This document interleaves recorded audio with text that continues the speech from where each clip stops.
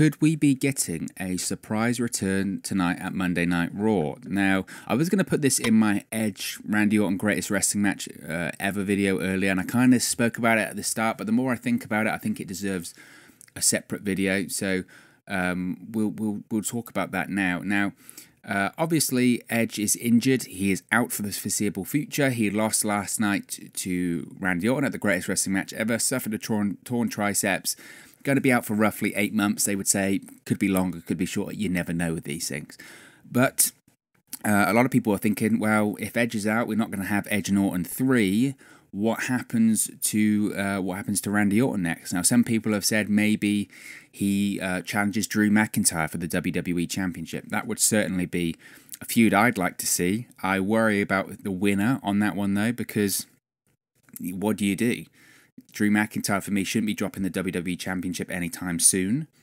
But Randy Orton, he just won what you're calling is the greatest wrestling match ever.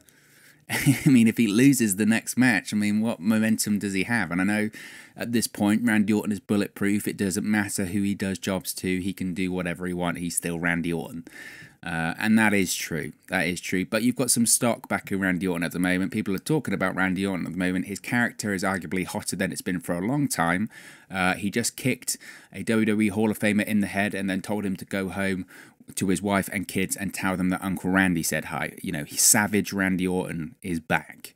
So, um, yes, he is almost hyped up for a WWE Championship opportunity, but I don't know if that would be the best thing because I feel like that would be a bit of a a bit of a Bray Wyatt Seth Rollins situation where you know you want to see both guys win, so seeing one of them lose kind of hurts them. I don't know. I don't know. I'm getting off a point. Anyway, my point was that what happens to Randy Orton next? What does Randy Orton do? Now, I'm going to be speculating a little bit here, so bear with me.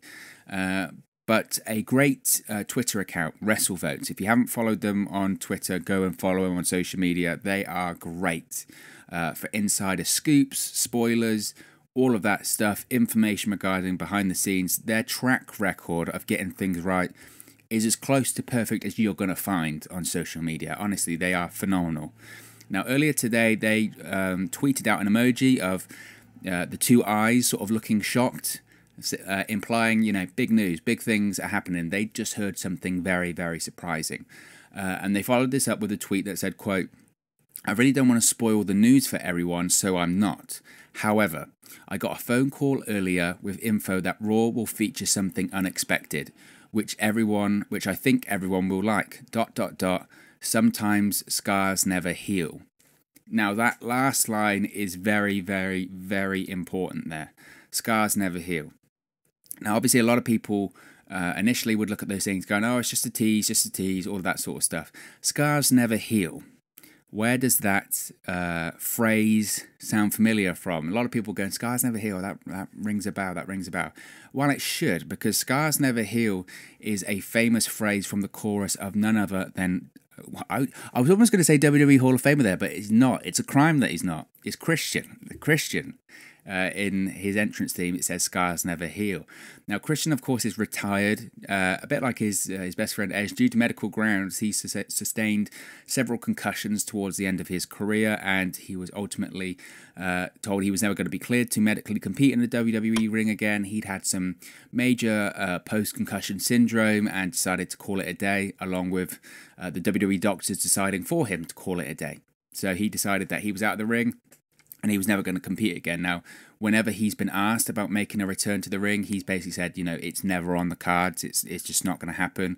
I've been told I'm never going to be cleared. The WWE have told me I'm never going to be cleared. I, you know, had a lot of concussion problems. It's not going to happen. Um, but how many times have we heard that now? I've been told I'm not going to be cleared. It's never going to happen. I think of Daniel Bryan. You know, I've been told that it's never going to happen he uh, just competed in the match of the week, arguably, on Friday Night SmackDown in an Intercontinental Championship match. I've been told it's not going to happen. Uh, that would be his best friend Edge, who returned at the Royal Rumble this year. He competed at WrestleMania this year. Last night, he competed in the greatest wrestling match ever. Uh, he's out for a while now, but he was told it was never going to happen. So some people are looking at that tweet by WrestleVotes and saying, "Oh my gosh, does that mean Christian is going to be coming back for just one more match, or however many matches it will be?" Um, Possibly, possibly. I think that line is very telling from WrestleVotes. Now, I haven't spoken to them. I don't know any insider information. I'm just speculating here. Uh, but we mentioned earlier on what happens with Randy Orton next. What can Randy Orton do next? He just defeated Edge. Edge is out for a while. We're not going to see Edge versus Orton 3 for any time soon. He could face Drew McIntyre, but I'm not sure if the Drew McIntyre Bobby Lashley feud is finished just yet. So what about uh, what about Christian? Now, Edge just got kicked in the head in storyline last night. Uh, and now is injured. They can play up that, saying Edge isn't going to return anytime soon. He got kicked to the head, his neck is all messed up, and he's at home recovering with his wife and kids. And Uncle Randy told him to say hi. Who should come and get revenge? That would be Christian. We've seen Christian on WWE TV recently as well. We saw Christian last Monday night on the Peep Show. He had a phenomenal segment with Edge, uh, spoke some tough love to him, spoke about trying to find himself, having the greatest wrestling match ever. Uh, I thought his promo work in there was great. Uh, we then saw him on the Backlash kickoff show in a promo, uh, a backstage interview segment with Ric Flair. Ric Flair had picked Randy Orton to win, and uh, Christian had picked Edge to win. Uh, and I thought the interaction there between Ric Flair and Christian was great. And I thought the um, promo that Christian cut opposite Ric Flair, who is the best promo of all time, um, was actually phenomenal as well. So I, I think Christian's work recently has been great. We've also seen him on WWE Backstage on FS1, and he does a great job on there. Uh, but he never got the ending or the storybook ending that all of us fans, and I'm sure him himself would have liked in WWE. Uh, and one of his best opponents in WWE, in my opinion, was Randy Orton. You think back to that 2011 uh, feud with Randy Orton. Christian had just won the World Heavyweight Championship for the first time at, Extreme Rules. And then a couple of nights prior against uh, Randy Orton on SmackDown, he defends the title and loses it. His title reign is all of what, two days, something like that. Now, he would win it back at Money in the Bank later on that year by disqualification after Randy Orton hit him with a low blow and per a pre-match stipulation. If you got kicked, if you got kicked in the nuts, if you got disqualified, you would lose the title. Uh, so Christian was the champion for the summer briefly. Um, which again was was fun, and he had the whole one more match, and he was this slimy heel, and he was given the ball a little bit, wasn't given the ball fully, but he was given the ball a little bit to run as a world champion. However, he would eventually lose to uh, Randy Orton once again, uh, and they had a phenomenal match. Uh, the first match actually on SmackDown where he lost the title was great, a really good match. Go back and watch that one. That was really fun to watch. Apart from the finish, obviously when he lost, but the finish itself was great. Jumps in the corner, springs back, hits him with an RKO midair. It was great. Um, they did the same sort of finish at SummerSlam. Goes in the corner, springs back RKO, except this time it was onto steel stairs because it was a no holds barred match, I believe. They even had Edge come out prior to that match. This was just after Edge retired as well. So Christian got this main event sort of push just after Edge retired. So it was interesting there. Um, so Randy Orton was one of uh, Christian's best opponents, no doubt. And like I said, he never got that ending. His last match, I believe, on WWE TV was a number one contenders match for the Intercontinental title on Raw. Might have been a fatal four way or fatal five way, but he got a concussion, I think, from Sheamus in that match. Um, never got the Intercontinental Championship match and never got another one. That was it. He was done. And that was in 2014, I think.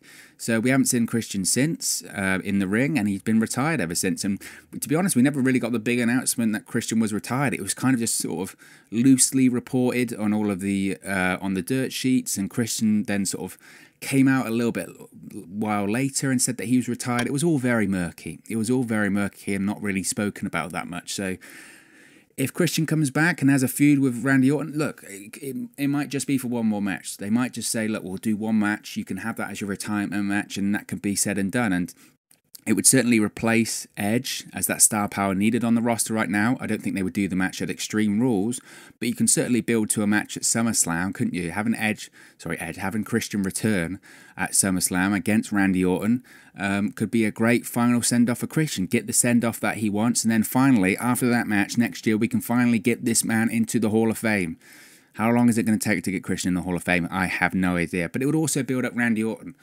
Imagine Randy Orton not only puts out Edge, but puts out Christian with two punt kicks um, in 2020. And this builds up the return for Edge next year to have the final showdown in a stadium or in an arena at least against Randy Orton. Not only is he getting redemption for his loss at Backlash, not only is he getting redemption for his wife, for his kids, but he's also getting redemption for his best friend who was retired by Randy Orton. The story's there. The story's there, and it's easy to write. Um, Now, of course, I could be completely wrong here. Maybe I'm reading too much into it. I think it's a very subtle hint by WrestleVotes. We might see something completely different, and I'll put this video up, and I might look like a complete idiot tomorrow. If I do, be sure to let me know that I'm an idiot in the comment section below.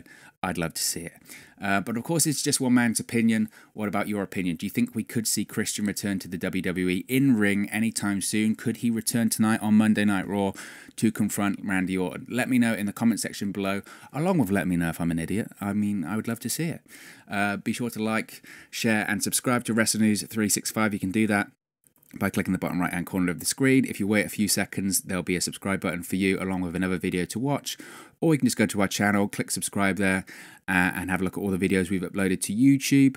Be sure to follow us on all of our social media platforms. That's at 365 Wrestle, at Wrestle News 365 on Facebook or Instagram. Thank you very much for watching, listening, streaming, or however you come across this video today. And I'll speak for you again very soon. Hey guys, thank you for watching, listening, streaming, or however you come across this video today. Be sure to click on the video on the right there to watch our next video, or click the bottom there to subscribe, or the bottom right hand corner. Thank you very much, and I'll speak to you again very soon.